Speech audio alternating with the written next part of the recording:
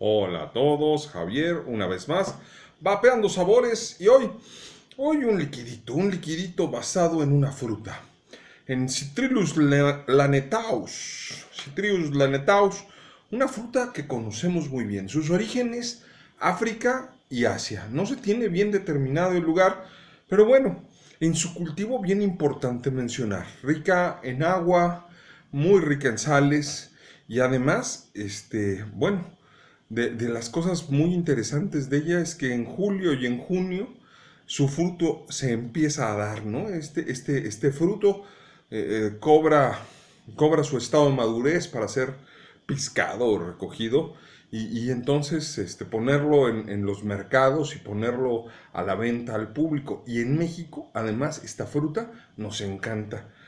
40 días tarda el fruto en entrar en su etapa de madurez. Y bueno, casualmente en México además ha sido adoptada por, por muchas culturas. México con, una riqueza en la herbolaria, en la botánica de curación. Y bueno, en Puebla, por ejemplo, se usa para atacar al paludismo. Pero en Sonora, además, se utiliza para atacar el reumatismo y el estreñimiento. Fíjense nada más. Y en ciertos lugares de la República, como Michoacán, también se utiliza para eliminar o eh, contra, las quemaduras. Fíjense. También sirve para cuestiones renales, para la gota, problemas de borrachos, ustedes saben.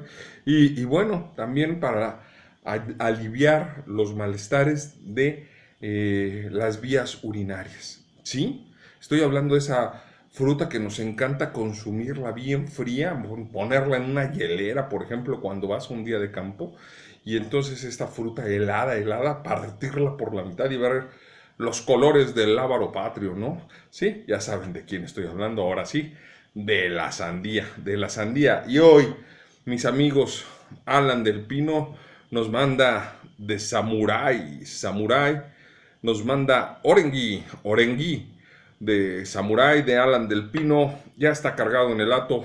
Vamos a probarlo.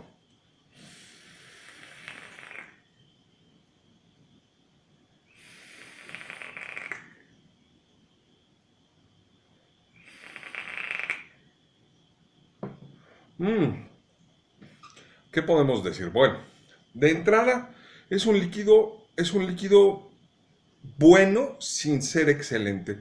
Es un líquido que no llega a los niveles de excelencia, pero que sus sabores son buenos. La sandía está muy bien lograda. Es un sabor muy, muy rico, muy bien hecho, muy bien logrado. Tiene esos tonos de sandía, de una sandía muy, muy bien lograda en un estado de madurez muy rico. Eh, esa sandía así rica, con, esos toques así tan complejos de la sandía porque como es rica en sales, no es necesariamente una fruta dulzona, sino es una fruta casi seca. Entonces, bueno, mm, muy, muy bien logrado. Viene acompañada de un toque de coco, este líquido, mm, que le complementa con un dulzor, con este dulzor eh, sequezón también del coco, pero con ese dulzor muy, muy agradable. Entonces, estas dos notas juegan muy bien en este líquido. La verdad es que Está bueno el líquido, tiene un rico sabor a sandía con una nota matizada y por ahí un toque que Alan dice que es el toque secreto, que yo le siento una nota vainillada.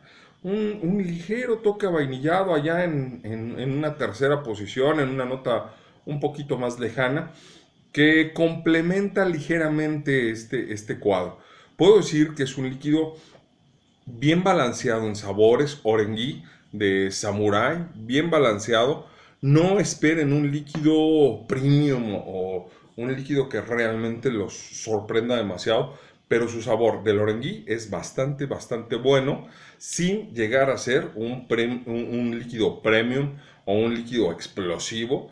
¿no? Es un líquido bien balanceado, bueno y de características muy asequibles para el bolsillo. Así pues, pues bueno, aquí está, Samurai Orengui, de Alan del Pino, un saludo. Saludos a mis amigos los vapeadores en Querétaro. Nos vemos pronto. Y bueno, agradecerles todos sus comentarios, todos son muy bien recibidos. Y pues bueno, recordarles como siempre que vapear es una mejor opción. Saludos y nos vemos en la próxima. Hasta luego.